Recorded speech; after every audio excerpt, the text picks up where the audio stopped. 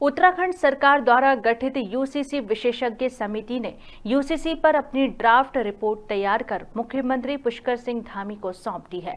मुख्य सेवक सदन में आयोजित एक कार्यक्रम में यूसीसी समिति की अध्यक्ष न्यायमूर्ति रंजना प्रकाश देसाई ने मसौदा समिति के सदस्यों के साथ उत्तराखंड के मुख्यमंत्री पुष्कर सिंह धामी को यूसीसी मसौदा रिपोर्ट सौंपी। वहीं कमेटी द्वारा ड्राफ्ट सौंपे जाने के बाद मुख्यमंत्री पुष्कर सिंह धामी ने कहा कि लंबे से हमें इस ड्राफ्ट का इंतज़ार था और आज हमें ड्राफ्ट मिल गया है।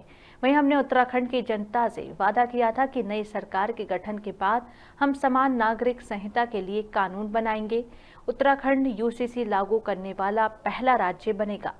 हमने जो वादा किया था वो पूरा करने अब जा रहे हैं। आगामी विधानसभा सत्र में इस ड्राफ्ट को सदन के पटल पर रखा जाएगा। और आपको बता दें कि तीन फरवरी को होने वाली कैबिनेट बैठक में यूसीसी ड्राफ्ट रिपोर्ट को मंजूरी मिलने के बाद इसे 6 फरवरी को विधानसभा में पेश किए जाने की उम्मीद है।